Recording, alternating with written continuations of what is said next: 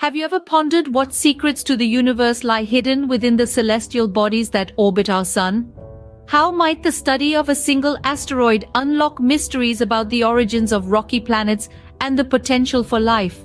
Imagine a capsule, no larger than an SUV, hurtling through the vast expanse of space on a mission of discovery. This was the reality for the OSIRIS-REx, a spacecraft launched by NASA in 2016. Its objective? To venture to Bennu, a carbon-rich asteroid, collect samples and return to Earth, a round trip of more than 1 billion miles. The journey to Bennu was not a short one. OSIRIS-REx spent two years traversing the cosmos before reaching its destination in 2018.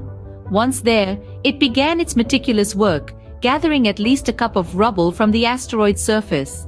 This event marked the collection of the largest soil sample ever from an asteroid, a triumphant moment in the annals of space exploration. However, the voyage was not without its challenges. In 2020, a valve on the sample container couldn't close properly, causing dust to leak out. This necessitated an immediate storage of the sample in the return capsule, without its weight being determined first.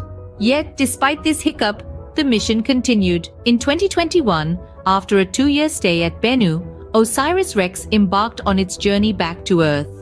The capsule experienced high temperatures during re-entry, but parachutes were deployed to slow its descent, ensuring it touched down safely within a designated landing zone in the Utah desert. The samples still in the capsule will be flown to a new lab at NASA's Johnson Space Center in Houston. There, they will be preserved for centuries to come, ready for scientists of future generations to study. But why all this effort for some asteroid rubble? The answer lies in the potential knowledge these samples may hold. Bennu is believed to be rich in organic compounds, the building blocks of life. By studying these samples, scientists hope to gain valuable insights into the origins of life on Earth and the formation of rocky planets. To recap, the OSIRIS-REx mission, launched in 2016, has brought back the largest asteroid sample ever collected.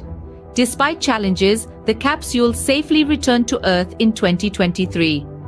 The samples, believed to be rich in organic compounds, will be preserved and analyzed at NASA's Johnson Space Center, potentially shedding light on the mysteries of life and the universe.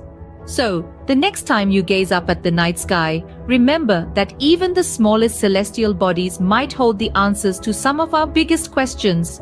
Who knows what other secrets the cosmos is waiting for us to uncover?